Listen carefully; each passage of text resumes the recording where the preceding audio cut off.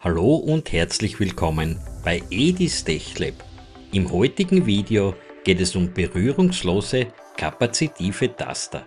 Wie die aufgebaut sind und funktionieren, das zeige ich euch heute und danach bin ich sicher, jeder kann das.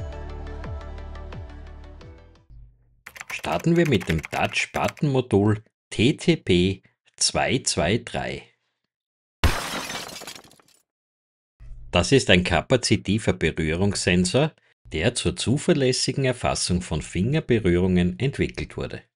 Wir setzen dieses Modul ein, um mechanische Taster durch eine verschleißfreie und geräuschlose Touchlösung zu ersetzen. Das Modul kann mit einer Spannung von 2 bis 5,5 Volt betrieben werden und es benötigt dabei nur 1,5 bis 3 Mikroampere. Das Modul hat drei Pins und hier das VCC, das ist für die Versorgungsspannung des Moduls. Hier können wir ohne Pegelanpassung direkt 3,3 Volt von unseren ESPs oder die 5 Volt von den Arduinos nehmen. Der GND-Pin ist der Masseanschluss des Moduls. Dieser Pin muss mit der gemeinsamen Masse, also dem Ground des Microcontrollers verbunden werden, um eine stabile Funktion sicherzustellen. In der Mitte haben wir den I.O.-Pin. Das ist der digitale Ausgang des Touch-Sensors. Der Pin schaltet abhängig von der Berührung entweder auf High oder Low. Das Ausgangsverhalten lässt sich über Lötbrücken konfigurieren. Wir können den Pin direkt mit einem GPIO eines Microcontrollers verbinden.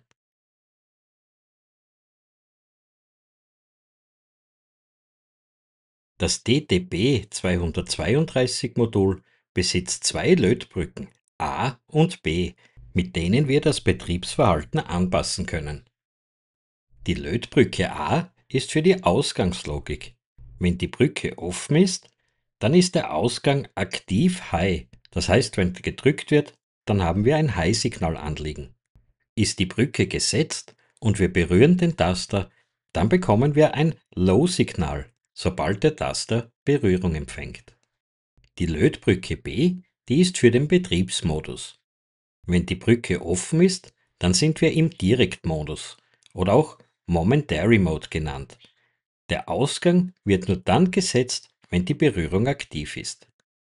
Ist die Lötbrücke B geschlossen, dann sind wir im sogenannten Umschaltmodus oder auch Toggle Mode genannt. Jede Berührung schaltet den Ausgangszustand um also von ein nach aus oder von aus nach ein. Hier sehen wir den Namensgeber vom Modul, den TTP 223 Controller. Dieser wertet kleinste Kapazitätsänderungen aus und stellt am Ausgang ein stabiles digitales Signal zur Verfügung. Wenn der Ausgang aktiv ist, dann leuchtet hier diese rote LED. Hier sehen wir eine zusätzliche Lötfläche, für einen externen Empfindlichkeitskondensator. Diese Option ermöglicht es, die Empfindlichkeit des kapazitiven Touch-Sensors bei Bedarf anzupassen. Durch die Bestückung eines geeigneten Kondensators kann das Ansprechverhalten an unterschiedlichen Einsatzbedingungen, Sensorflächen oder Abdeckmaterialien angepasst werden. Ein 0 Picofarad oder kein Kondensator sorgt für höchste Empfindlichkeit. Der Sensor reagiert sehr empfindlich und kann auch durch dünne Deckmaterialien ausgelöst werden. Ein ca. 10 Picofarad großer Kondensator sorgt für mittlere Empfindlichkeit, ein guter Kompromiss zwischen Stabilität und Reaktionsstärke. Bei einem Kondensator von 30 bis 50 Picofarad sorgt es für geringe Empfindlichkeit. Das ist sinnvoll, wenn der Sensor durch dickere Materialien arbeiten soll. Wenn du die Informationen in diesem Video für nützlich empfindest, dann würde ich mich freuen, wenn du diesem Video ein Like gibst. Danke. Lasst uns jetzt ein praktisches Beispiel machen. Als Microcontroller nehmen wir hier den Arduino Nano ESP32, aber ihr könnt natürlich jeden Microcontroller nehmen, den ihr zur Hand habt. Den TTB 223 schließen wir an 3,3 Volt und Ground an.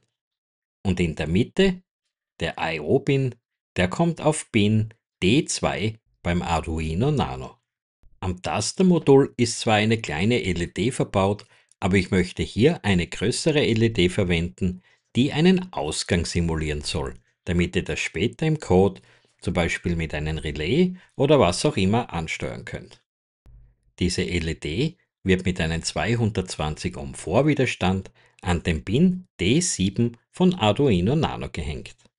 Eine Liste vom benötigten Material, um dieses praktische Beispiel nachbauen zu können, findet ihr unten in der Videobeschreibung. Sehen wir uns jetzt den Sketch an. Ihr findet ihn wie immer auf GitHub unter edistechlab und den Link dazu unten in der Videobeschreibung.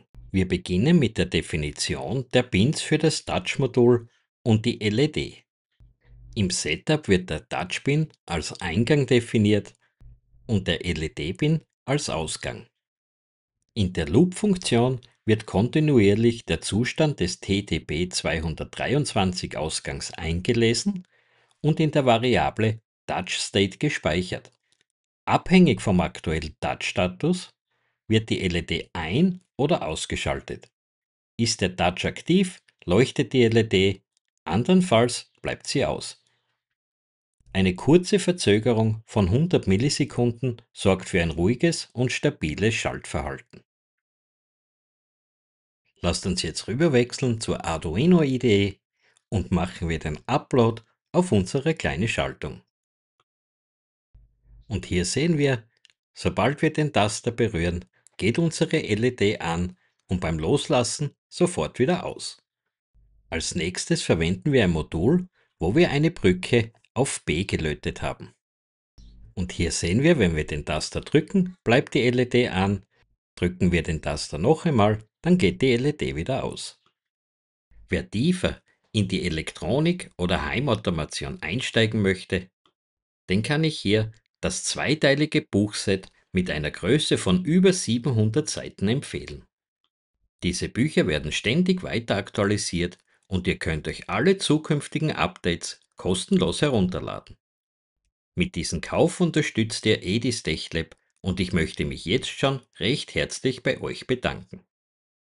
And good news for all the English speaking folks, this book is also available now in English. Als Bonus möchte ich euch noch einen zweiten Berührungstaster zeigen, und zwar den CJMCU 1010. Das ist ein kapazitiver Touch-Taster, der auf dem Microchip AD42QD1010 basiert. Im Gegensatz zum weit verbreiteten TTB223 arbeitet dieser Controller robuster gegenüber Störungen und bietet eine stabile Toucherkennung, besonders bei langen Leitungen oder wechselnden Umgebungsbedingungen. Das Modul ist physisch größer und das Touchpad hat einen Durchmesser von 20 mm. Während der TTB 223 mehrere Betriebsmodi über Lötbrücken bietet, ist der CJMCU 1010 klar auf zuverlässige Einkanal-Touch-Erkennung ausgelegt, mit definierter Ausgangslogik und hoher Störfestigkeit. Dadurch eignet er sich besonders für Projekte, bei denen Zuverlässigkeit wichtiger ist als minimale Baugröße.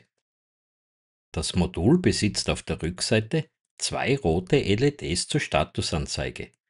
Die große rote LED auf der linken Seite dient als Aktivitätsanzeige. Sie leuchtet hell auf, sobald der Touch-Taster ausgelöst wird und der Ausgang aktiv ist.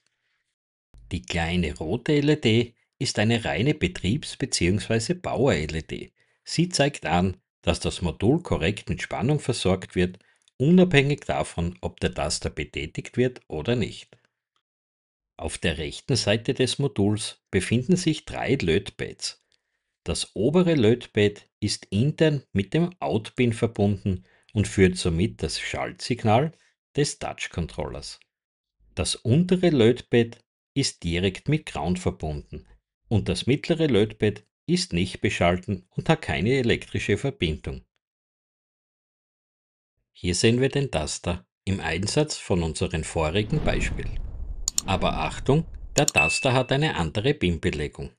Hier seht ihr dass selbst wenn ich den Taster nicht direkt berühre, er schon schaltet. Selbst wenn wir einen Schraubendreher in die Nähe des Touch-Sensors bringen, können wir die LED an- und ausschalten. Wenn dir das Video gefallen hat und du den Kanal unterstützen möchtest, dann würde ich mich freuen, dich als Kanalmitglied begrüßen zu dürfen. Es ist für jede Geldbörse etwas dabei und du hast den Vorteil, Videos als erstes zu sehen, an Umfragen teilzunehmen und noch einiges mehr. Das Jahr 2026 wird für die Mitglieder eine super Sache werden.